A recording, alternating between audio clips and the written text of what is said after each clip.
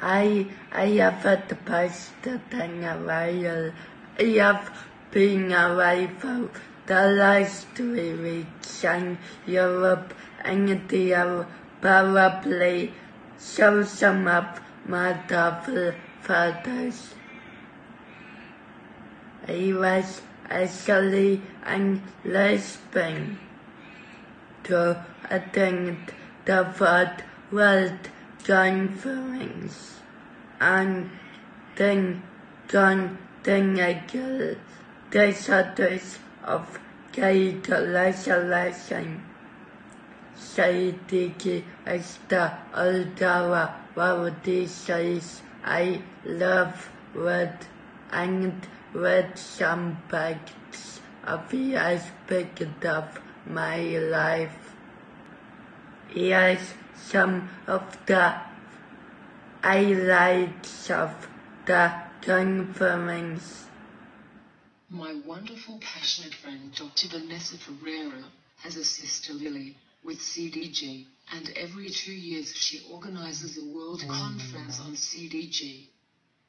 Doctors, researchers, patients and their families from around the world meet to discuss and share their knowledge, experience and hmm. progress towards finding treatments and a cure for CDG. I have participated in every World CDG conference.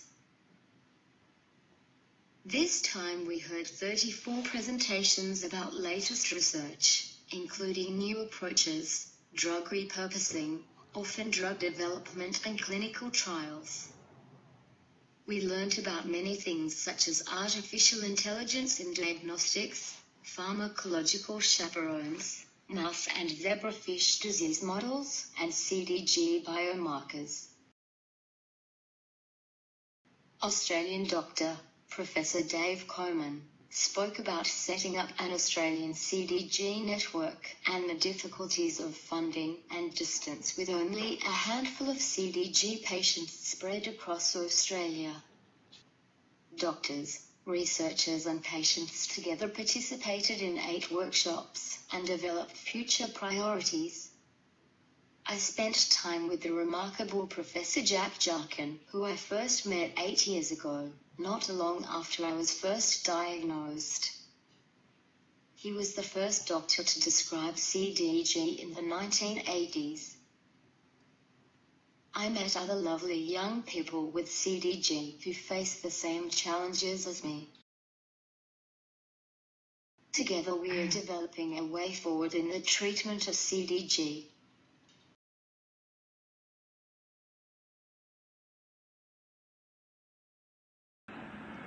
Thank you. Bye.